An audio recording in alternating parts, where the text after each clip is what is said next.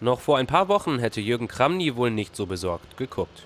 Stuttgarts Trainer gewann Spiel um Spiel und hatte dem VfB nach der Talfahrt unter Zorniger wieder auf die Beine geholfen.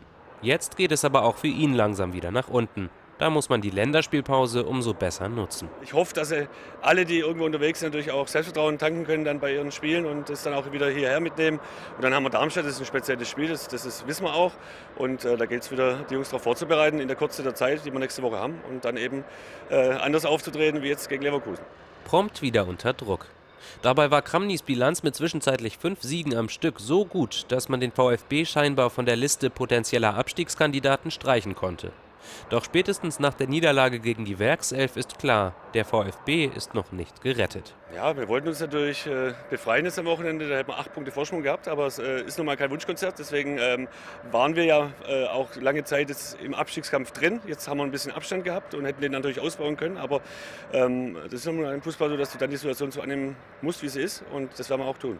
Nach der Siegesserie wurden in Stuttgart schon vorsichtig erste Europaträume geträumt.